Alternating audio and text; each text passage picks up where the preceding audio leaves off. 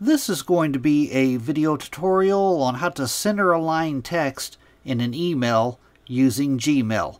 I will be using a desktop PC for this. Let me uh, jump over to my browser here. Okay, I have my browser open now and I am logged into Gmail. As you can see off to the lower right here, I have begun to compose an email. To center align text, it's very easy to do. First thing you want to do is select the text that you want to center align. Say that I only wanted to center align this uh, top line here.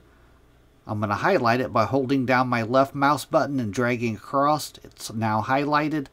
Then I'm going to go down to the bottom down here to these icons down here. And this one right here is your alignment.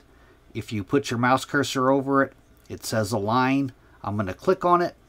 And you could either align to the left center, or right. I'm going to click on center. And now you can see line has been centered. Say that I wanted to uh, center align this entire paragraph. I'm going to place my mouse cursor at the end of that paragraph. I'm going to hold down my left mouse button, drag all the way across it. I'm going to let go of my left mouse button. I have all that selected now. I'm going to go down to the bottom and I'm going to click on the alignment icon.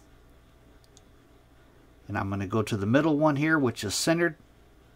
Align center. I'm going to click on it.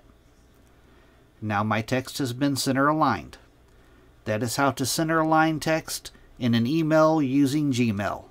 Thanks for watching.